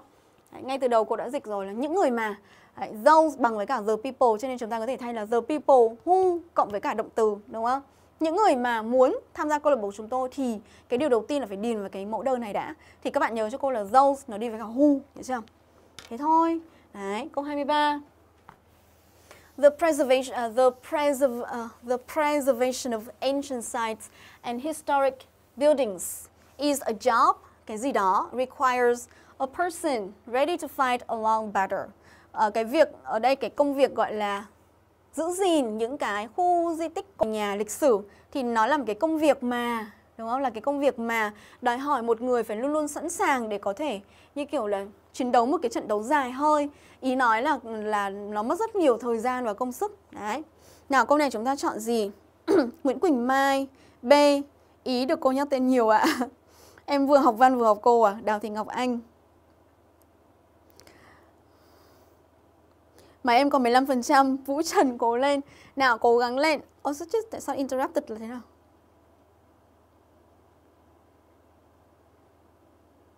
Bị interrupted.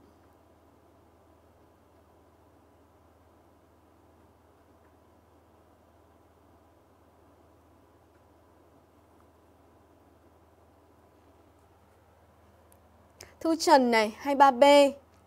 Ok rồi, câu này các bạn chọn B là đúng rồi. A job đúng không? Đằng trước cái chỗ trống là a job là một công việc. Công việc thì phải là which là đúng rồi. Ở đây chúng tôi đang nói về đại từ quan hệ đúng không? Which sẽ thay thế cho cái từ a job. Đấy, cái công việc mà đòi hỏi. Được chưa? Tiếp theo câu 24 nào. She is going to sell the business. Cô ấy chuẩn bị bán cái uh, công ty của mình. Đấy, và đó là một cái điều mà rất là đáng tiếc. A great shame. Một cái điều rất là đáng tiếc. Rồi, that, which, it is hay là what? Thứ nhất chúng ta thấy là đằng trước chỗ trống nó có dấu phẩy đúng không? Nó có dấu phẩy. Đấy thì đã có dấu phẩy rồi thì chúng ta loại ngay that đi đúng không? Thứ hai là what không phải là đại từ quan hệ. Đấy, và it is cũng không phải luôn, đúng không? Đấy, câu này chúng ta chọn cho cô ngay được phương án là phương án B là which. Thì which ở đây là một cái đại từ quan hệ và trong trường hợp này which thay thế cho cái gì? Thay thế cho nguyên một cái mệnh đề phía trước, đúng không? Cái điều gì chính là điều đáng tiếc, chính là cái điều mà cô ấy chuẩn bị bán cái cái doanh nghiệp của mình, bán cái công ty của mình thì toàn bộ cái điều này nó rất là điều đáng tiếc. Như vậy which ở đây thay thế cho nguyên một cái mệnh đề được nhắc đến ở đằng trước dấu phẩy. Được chưa cả lớp? Đấy là cách sử dụng của which. Em xin info đồng hồ. xin info đồng hồ để làm gì? Hả?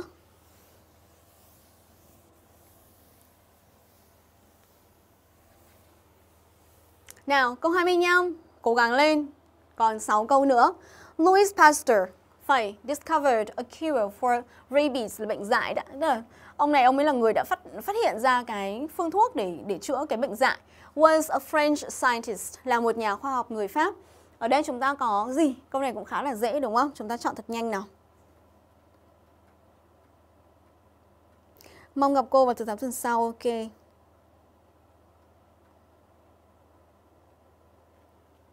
Nào chúng ta comment thật nhanh nào. An Lê, Khôi Lê, B, Vũ Trần B. Ok, rồi. Thế sao lại B được nhỉ? Sao các bạn chọn B rồi nhỉ? Dấu phẩy, có nhìn thấy dấu phẩy không? Chúng ta có nhìn thấy dấu phẩy ở đây không?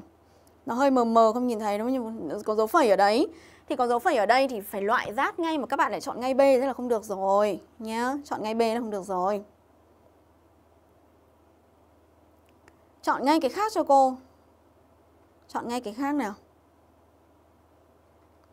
Rồi Wendy Vũ Khôi Lê, Hoàng Thùy Linh, Lê Đăng Huy Câu này các bạn chọn gì đây? Who hay là whom? Cô vẫn thấy có những bạn chọn whom như kiểu Văn Thái này, chọn D. Câu này nhá, đáp án đúng của chúng ta là C. Đấy, như kiểu Nguyễn Viết Quang này, Mimi Hương Lê là đúng rồi. Whom có thể thay thế trong trường hợp này không cô nhỉ? Không thể các bạn nhé. Whom không thể. Bởi vì các bạn nhớ là whom không bao giờ kết hợp trực tiếp với động từ đằng sau. Đấy, cái này cô nói luôn, đằng sau cái chỗ trống đây là discovered là động từ chia quá khứ đơn đúng không? Thì nhớ là whom không bao giờ kết hợp trực tiếp với động từ đằng sau. Mà whom ấy nó phải như thế nào? Nó phải đi với cả chủ ngữ sau đó đến động từ bởi vì whom thực chất whom ấy, nó là tân ngữ. Đó, nó là tân ngữ của mệnh đề quan hệ. Đấy. Thế thì who thì sao? Who nó có thể kết hợp trực tiếp với động từ đằng sau. Đấy, cho nên câu này chọn who. Được chưa? Cái sự phân biệt giữa giữa who và whom, được chưa? Là whom thì không thể đi trực tiếp với động từ được nhưng who thì có thể kết hợp trực tiếp với động từ được. Đấy, các bạn nhớ chưa? Đấy là sự khác biệt nhé. Đấy là sự khác biệt của who và whom. Nguyễn Quỳnh Như định xem vài câu rồi còn học toán, ai ngờ xem hết live luôn à? định à, định à, định để lấy sách hay sao ở Quỳnh Như ơi? Nhớ, như vậy câu này chúng ta nhớ chưa? Phân biệt giữa who và whom. Hai cái này cực kỳ quan trọng bởi vì là who, bởi vì đại từ quan hệ hay là mệnh đề quan hệ là một trong những cái chủ điểm để đi thi chắc chắn sẽ có đi thi đi thi ở trường chắc chắn cũng sẽ có và đi thi tốt nghiệp chắc chắn cũng sẽ có luôn cho nên chúng ta phải chắc hai cái này cho cô nhé. Đấy, cô nhắc lại là home không bao giờ kết hợp trực tiếp với động từ mà home đằng sau đấy phải là chủ ngữ rồi đến động từ. Thế còn who thì nó có thể kết hợp trực tiếp với động từ và cũng có thể kết hợp trực tiếp với cả mệnh đề. Đấy nhá. Tiếp theo này câu số 26 đi. Hết mệnh đề quan hệ rồi bây giờ sang phần à, sang phần mặc dù đây. Nào Câu này chúng ta có the rise in unemployment. Unemployment có nghĩa là sự thất nghiệp, tức là ý nói là thất nghiệp gia tăng. Thì people still seem to be spending more. Mọi người dường như là vẫn cứ đang chi tiêu rất là nhiều. Đấy, thế thì câu này chọn gì đây? Phương án A chúng ta có nevertheless, phương án B là meanwhile, phương án C là despite và phương án D là although. Ồ, câu này chúng ta chọn gì nào?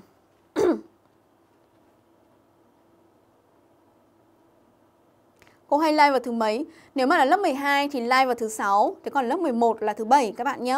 Những bạn nào mà chương trình lớp 11 hoặc là tiếng Anh còn yếu kém thì chúng ta nên xem cùng với cả lớp 11 luôn. Mong mạng độ đến câu 30. Chị đang học bài hóng sách quá, năm nay rén quá. Cô hay like vào thứ lớp 12 là thứ 6 nhé. Em đăng ký xin mãi cho khi cố gắng lên. Học cô em thấy dễ hiểu thật, cô cảm ơn. Nào, câu này chọn gì nào? Tấn Tiến, đây Khôi Lê, đây Huyền Đỗ, Dương Lê, đây Ok, câu này đây đúng rồi. Chúng ta chọn ôm dâu. Các bạn nhớ là ôm dâu với cả despite cũng là hai cái hai cái từ hai cái, cái chủ điểm này. Đi thi tốt nghiệp chắc chắn sẽ có nhé, chắc chắn luôn. Đề thi năm nào cũng vào cái này luôn ý. Đấy, cho nên là chúng ta phải nhớ. À sorry nhầm, chết chết rồi. Chọn ôm dâu là sai nhá, cô nhìn nhầm các bạn nhé. mà mà nhìn comment quá. Câu này mà chọn ông dâu là chết rồi, nhá. The rise này. The cộng với cả rise. Rise ở đây nó là danh từ. Sau đó unemployment cũng là danh từ, cho nên ở đây nó không hề có động từ. Cho nên đây là chỉ là cụm thôi. Cụm thì không thể đi với ông dâu được, mà phải đi với cả despite, nhớ chưa? Câu này phải là C. Là như vậy, có rất nhiều bạn kiến thức nó vẫn còn chưa chuẩn lắm đâu. Câu này nó phải là C nhé Thủy Linh, em gào thét trong live bên page của cô Sao bây giờ mới sang bên này đúng không? Thì cô đã nói rồi mà Cô đã nói rồi mà Nguyễn Viết Quang, kệ sách của em còn thiếu đúng một quyển là quyển sách của cô đúng không? Khôn thế. Sách đó nếu bán là bán bao nhiêu? Nếu mà theo giá bìa là 199 ngàn Đấy là theo giá bìa nhưng mà thông thường sẽ được giảm Ok, chúng ta nhớ nhá, câu này phải là despite, nhớ chưa? Despite thì nó sẽ cộng với cả gì? Despite có nghĩa là mặc dù á, đúng không? Thì nó có thể cộng với cả danh từ hoặc là cụm danh từ. Tóm lại là cộng với danh từ, đúng không? hoặc có thể cộng với cả một verb in đó hoặc là có thể đi với cả cái cấu trúc là the fact that cộng mệnh đề Đấy, cái phần này nó hơi bị bụi này despite the fact that cộng với cả mệnh đề đấy thì nó có thể đi kết hợp như vậy nhá nó có nghĩa là mặc dù các bạn nhớ chưa thế còn ôm dâu ấy thì nó bắt buộc nó phải đi với cả mệnh đề ôm dâu nó bắt buộc nó phải đi với cả mệnh đề mệnh đề có nghĩa là gì là phải có chủ ngữ và có động từ đúng không? Ít nhất là phải có chủ ngữ và có động từ thì mới gọi là mệnh đề được. Thế còn à, nevertheless là tuy nhiên, meanwhile có nghĩa là trong khi đó thì hai cái này nó không kết hợp vào đây được. Ở đây phải là mặc dù cái cái thất nghiệp tăng gia tăng đúng không? Nhưng mọi người vẫn chi tiêu rất là nhiều. Tiếp theo này câu số 27 Ôi em khóc thật đấy, em ngồi mãi không hiểu sao cô không đọc comment của em ạ. À. Đấy, buồn thế. Koga Seijima đây này Bạn ấy có một cái ờ, Bạn ấy có cái tên nick ờ, rất là khó đọc cho nên cô rất là ít đọc Bạn nào mà để cái tên nick khó đọc là cô sẽ không đọc mấy đâu Bởi vì là mỗi lần cô đọc cô phải kiểu Mất rất nhiều sức. Tiếp theo câu 27 He can't speak German well. Anh ấy không thể nói được tiếng Đức giỏi. À, chấm chấm chấm. He has a university degree in German. Đấy, anh ấy có một cái tấm bằng đại học kiểu tấm bằng đại học là cử nhân ngôn ngữ Đức ấy, ờ, gọi là uh, cử nhân ngôn ngữ là tiếng Đức ấy, gọi là cử nhân tiếng Đức gọi là như vậy nhé. Mặc dù anh ấy có một cái tấm bằng đại học là cử nhân tiếng Đức, anh ấy không thể nói được tính Đức giỏi. Đấy, câu này chúng ta chọn gì đây? Despite, because, in spite of hay là even though. Sao câu này là có this? Ok rồi.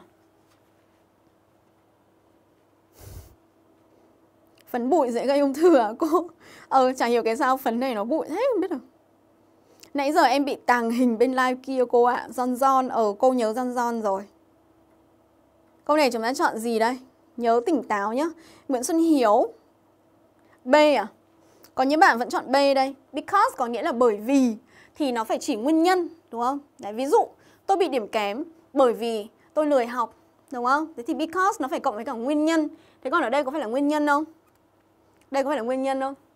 Anh ấy có một cái tấm bằng cử nhân tiếng Đức có phải là nguyên nhân cho việc anh ấy không thể nói tiếng Đức giỏi không? Đúng không? Không thể là nguyên nhân được. Đấy, cho nên mình không thể chọn because ở đây được bởi vì nó vô lý. Tiếp theo này, câu này có thể loại rất là nhanh. Despite và inspire có cùng chung cái cách sử dụng. Đấy, các bạn nhớ chưa? Despite này và inspire nó đều là giới nó đều là giới từ. Nó đều có nghĩa là mặc dù. Đấy, nó đều có nghĩa là mặc dù nhá nó đều là giới từ nhá, cách sử dụng giống hệt nhau.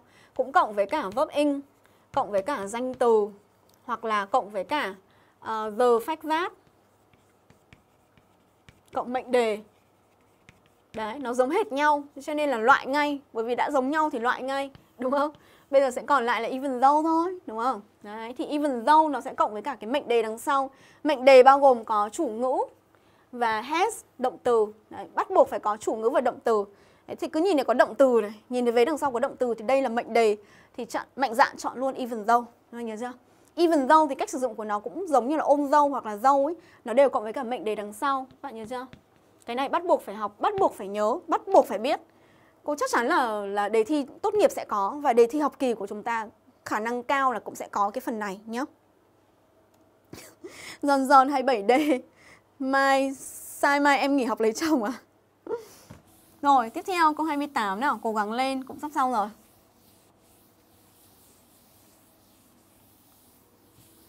Um, working very hard, he didn't pass the exam. Nào, bây giờ chúng ta chọn cái gì đây? Đằng sau chỗ trống là một verb in.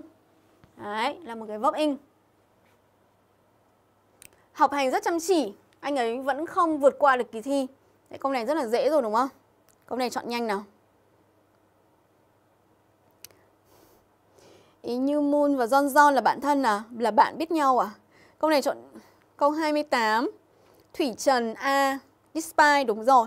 Câu này bạn nào chọn despite đúng rồi. Thế còn inspire thì phải đi với ở các bạn nhé. Đấy, cho nên là loại. Inspire phải đi với ở. Ở đây là verb in, không phải là mệnh đề. Cho nên loại luôn ôm dâu. Thế còn since, nếu mà since có nghĩa là bởi vì thì nó cũng không đúng. Bởi vì since, uh, nếu là bởi vì nhá, thì đằng sau nó phải cộng với cả mệnh đề. Hiểu chưa? Đấy, thế còn nếu mà kể từ khi thì nó lại không đúng nghĩa rồi. Tóm lại since không được. Ở đây chúng ta chọn despite là mặc dù. Despite có thể cộng với cả một verb in ở đằng sau. Thế còn ôm dâu thì không được. Thế còn inspire phải nhớ về inspire of. Các lớp nhớ nhé. Tiếp theo câu 29. Nào câu 29 và câu 30 là hai câu liên quan đến um, articles. Mạo từ. Hai câu liên quan đến mạo từ. Khi nào à, cô sẽ cho một cái đề tổng hợp nhé. Cái đề tổng hợp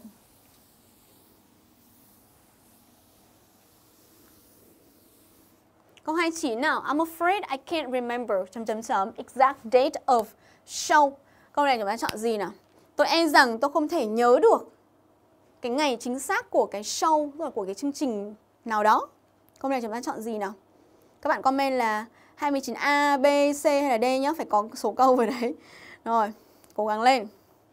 Thủy Trần 29D, Tấn Tiến 29A. Em chỉ muốn nói em thật ngu ngốc gào thét bên page. cô live bao nhiêu lần rồi mà? Thứ sáu, thứ bảy luôn luôn sẽ là cô live ở trên uh, cả ba trang.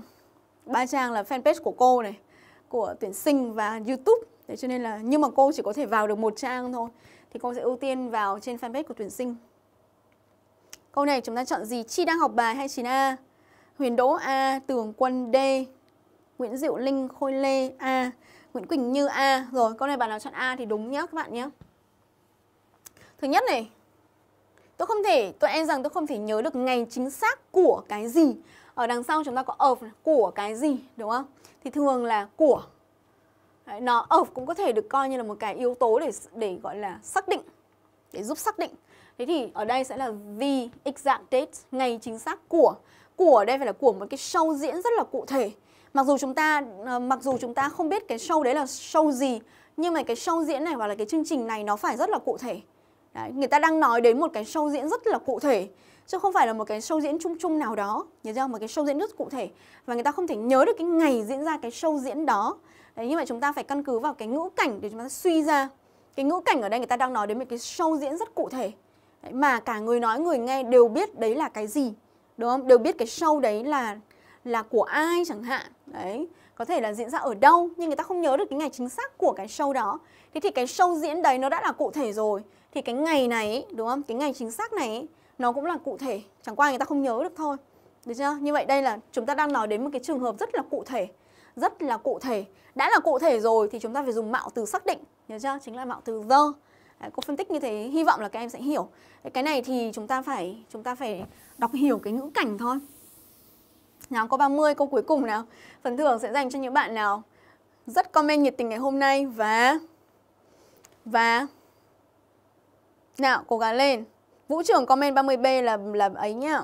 Rồi, Nào, câu số 30 30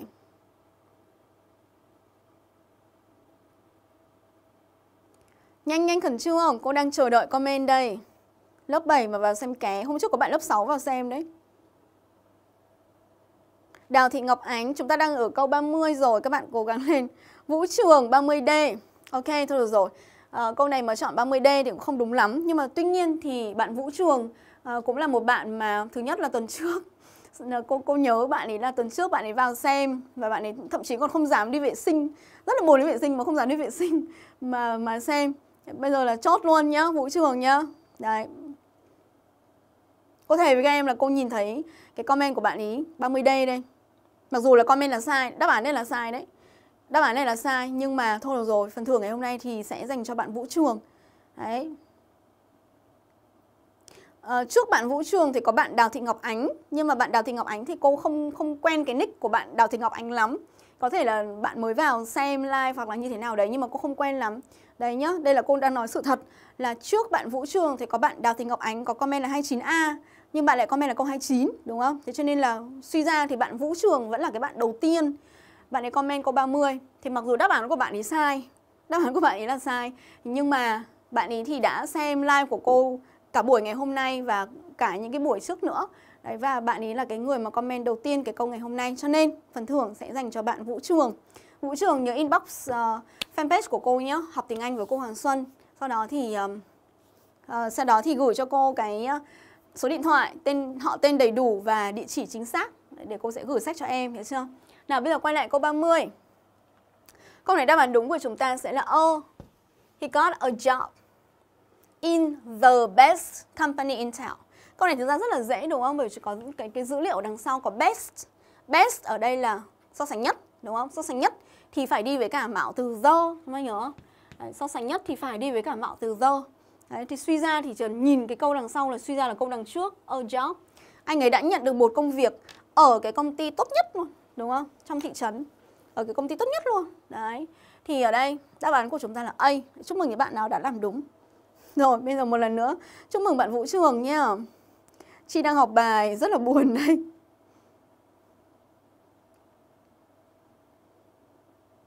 Các bạn nhớ này là nhiều khi cái cái cái cái thứ tự hiện lên cái đáp án ấy của máy của các bạn và máy cô nó khác nhau, tùy vào từng mạng. Thế cho nên là ở máy của các bạn, đúng không? Ở máy của các em ấy thì có thể là là cái cái câu trả lời của mình nó hiện lên trước các bạn khác. Nhưng ở máy của cô thì lại là một bạn khác nó hiện lên trước. Thế cho nên là cái này nó không không không thể không thể nói được. Ở đây là cô đang nói thật chứ không phải là cô ưu tiên bất kỳ một ai đâu. Ở đây có rất nhiều các bạn là top fan của cô. Ví dụ bạn ý như này, rồi là đinh ngọc bảo hân. Đấy là những cái bạn mà cô rất là biết các bạn ý. Các bạn ý rất hay vào xem live của cô và thậm chí rất hay comment các thứ. Cô cô nhớ tên của các bạn ấy luôn rồi. Đấy nhưng mà cô vẫn không thể ưu tiên các bạn ấy được là bởi vì ở đây cô đang tuân theo đúng luật chơi của chúng ta, đúng không? Là bạn nào mà comment nhiệt tình hăng hái nhất và quan trọng là cô nhìn thấy cái comment đầu tiên ấy đúng không? Khi mà hiện lên cô 30 này, thì bạn đó sẽ nhận được cái món quà của cô. Ở đây cô không có ưu tiên ai cả nhớ, cho nên là là là là thôi, chúng ta cố gắng lên, cố gắng những cái buổi sau, nhớ chưa? Nhớ là cô vẫn còn sách, cô vẫn còn sách, cô vẫn có thể tặng được cho chúng ta, nhớ chưa? Thanh niên may mắn nhất ngày hôm nay. Ok, rồi.